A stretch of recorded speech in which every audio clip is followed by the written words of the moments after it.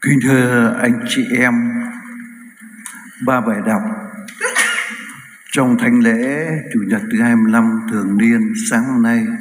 Bài đọc thứ nhất trích trong sách ngôn sứ Isaiah cho chúng ta thấy tư tưởng của Thiên Chúa thì khác với tư tưởng của chúng ta và đường lối của Thiên Chúa thì cũng khác với đường lối của chúng ta.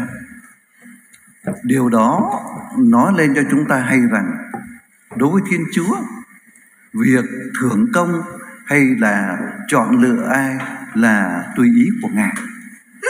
Tùy con người của Ngài. Ngài thấy con người chúng ta, mỗi người đều có những khả năng này, khả năng kia, đều có những tiêu chuẩn này, tiêu chuẩn kia. Cho nên Ngài đã chọn, Ngài đã cất nhắc người này, người kia theo lẽ công bằng của Ngài. Và trong bài đọc thứ hai thư của Thánh Phaolô gửi tín hữu Hippri cho chúng ta thấy. Thánh Phaolô đã muốn rằng mình nếu mà được về với Chúa thì là điều tốt hơn.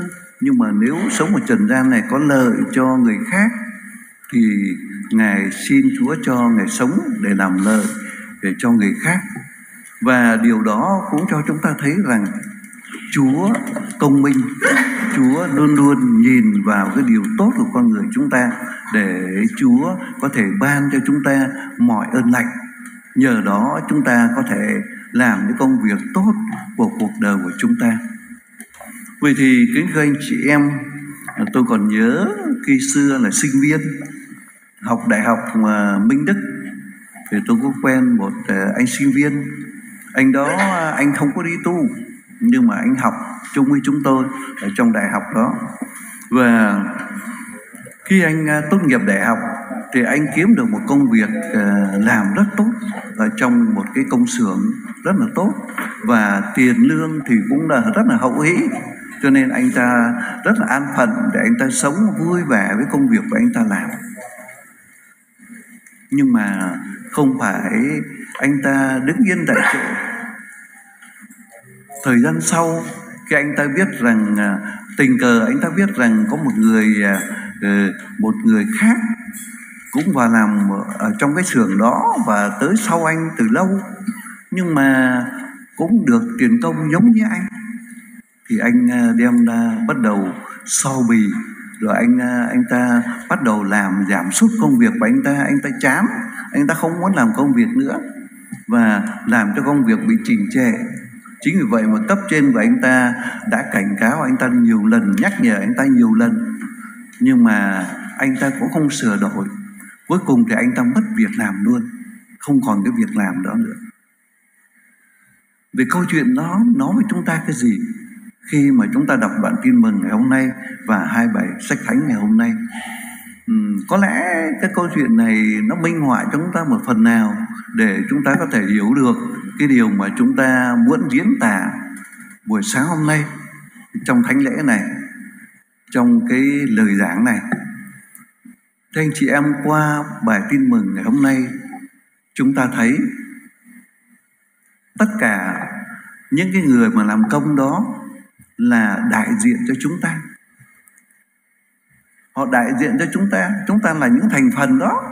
Chúng ta là những người làm công trong cái vườn nho của chúa đó cho nên chúng ta đại diện họ là đại diện cho chúng ta.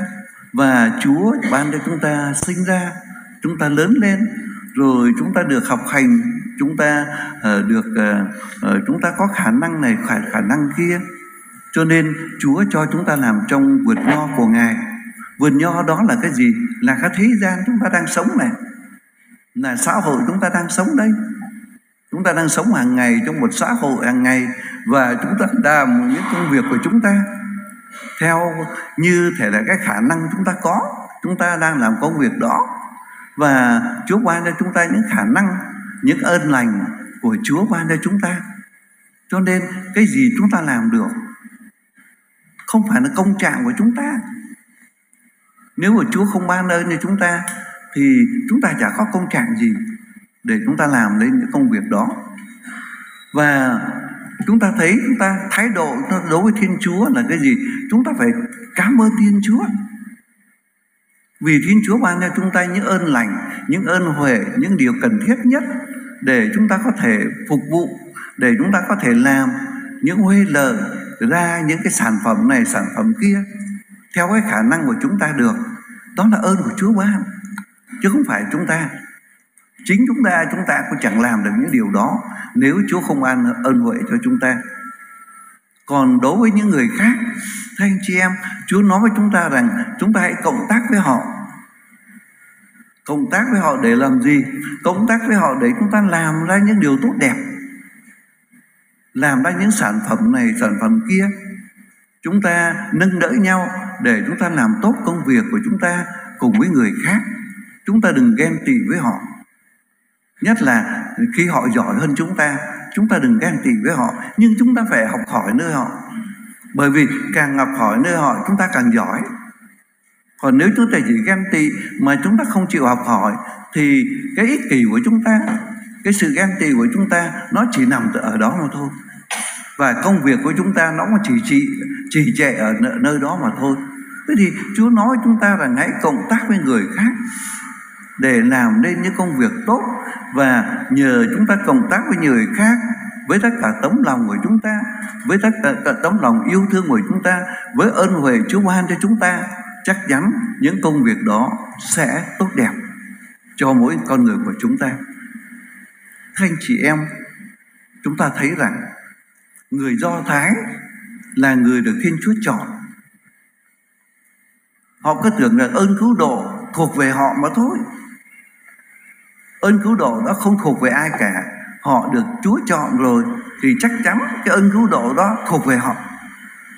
Họ không muốn ơn cứu độ đó nó trải dài ra cho người khác. Họ không muốn chia cái ơn cứu độ đó cho người khác. Không phải như vậy. Chúa tới trần gian này là để cứu rỗi tất cả mọi người. Và chúa nói như thế này. Chúa nói chúa tới trần gian này không phải để, để tìm người công chính nhưng mà tìm kẻ tội lỗi. Vì thế, anh chị em thấy rằng khi Chúa đi giảng đạo, Chúa đã ăn uống với những kẻ, với những kẻ tội lỗi, với những người thu thuế. Và Chúa đã bị đánh giá là con người mê ăn uống, mê nhậu nhẹt. Nhưng thực tế không phải như vậy. Chúa tới để Chúa đến với từng người và nhờ đến với từng người như thế, tới với những người tội lỗi như thế, Chúa làm cho họ biết ăn năn sám hối và quay trở về với Chúa. Đó là con đường lối của Chúa. Vậy thì đường lối của Chúa khác lắm, khác với đường lối của chúng ta. Chúng ta thấy người ta tội lỗi, chúng ta không dám tới chơi với họ. Chúng ta đẩy họ ra xa. Chúng ta ờ, làm cho họ bị cứng ngắc, làm cho họ bị đau khổ. Còn Chúa thì không. Chúa tới với từng người càng tội lỗi Chúa càng tới. Càng những người thu thuế thì Chúa càng tới với họ. Và Chúa đưa họ về với Chúa. Thì đó là cái điều Chúa làm ở trong trần gian này. Thì, thì thưa anh chị em khi chúng ta sống ở trần gian này chắc chắn cuộc đời của mỗi người chúng ta cũng vậy thôi. Chúa ban cho chúng ta khả năng này khả năng kia để chúng ta có thể thực hiện điều này điều kia trong đời sống của chúng ta. Có những người Chúa ban cho rất giỏi để làm ra tiền rất nhiều có những người thì Chúa ban cho khả năng ít hơn, chúng ta làm ra tiền ít hơn. Nhưng tất cả mọi người đều do ơn huệ của Chúa, đều do một ân lành của Chúa ban, chứ không phải do sức của chúng ta, không phải do cái khả năng riêng tư của chúng ta mà chúng ta có, mà phải do ơn lành của Chúa. Chúng ta phải cảm ơn Thiên Chúa. Và rồi, chúng ta cũng phải cảm ơn anh chị em của chúng ta, vì chính nhờ anh chị em của chúng ta đã động viên chúng ta chúng ta mới có thể làm tốt công việc của mỗi người trong chúng ta được. Vậy xin Chúa, qua việc mà ngày hôm nay Chúa đã lấy một cái dụ ngôn để dạy dỗ chúng ta rằng Chúa là đấng công minh, chính trực. Bởi vì những người làm trong vườn nho, dù giờ đầu tiên cho tới giờ cuối cùng trong ngày, đã thỏa thuận với nhau là một quan tuyển thì khi tới buổi chiều tới thì người quản lý đã phát mỗi người một quan tiền. Đó là sự công bằng mà ông chủ là chính thiên chúa đã phân phát cho từng con người. Vậy thì khi chúa đã công bằng như thế hay ông chủ đã công bằng như thế thì không ai có quyền nói này nói kia gì cả. Bởi vì mình đã thỏa thuận một quan tiền như thế rồi. Nếu mày không thỏa thuận thì trách cứ người ông chủ thì đúng nhưng mà mình đã thỏa thuận rồi mình không có quyền trách cứ cái điều gì cả. Bởi vì ông chủ đó rất công minh và ông chủ đó đã uh, đã thỏa thuận ngay từ đầu tiên khi vô làm việc để tất cả mọi người làm việc đều hiểu rõ rằng khi tới cuối giờ mình chắc chắn sẽ lãnh một quan tiền mà thôi. Xin mẹ Maria và thánh cả Giuse giúp chúng ta hiểu được lời Chúa để chúng ta sống lời Chúa mỗi ngày mỗi thâm sâu trong cuộc sống của chúng ta. Amen.